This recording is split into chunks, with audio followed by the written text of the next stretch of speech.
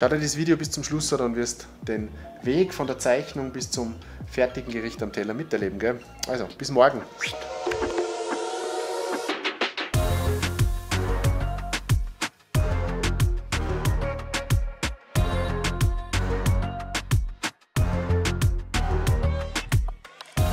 So, wir fangen jetzt an, dass wir den Schweinerücken machen. Das Wichtigste, bevor wir irgendwas machen, ist, dass ich gleich einmal ein Gemüse mal herrichte. Dieses Gemüse ist mein Röstgemüse, weil beim Ansetzen, beim Zerlegen des Schweins entsteht mir viel Knochen und Parürenmaterial.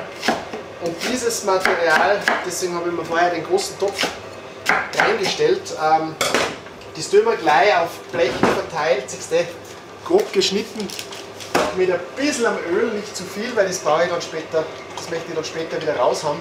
Aber nur damit die Röstung ein wenig schöner erfolgt, ähm, wenn wir das jetzt im Rohr bei 170 Grad einmal so eine halbe Stunde vorrösten.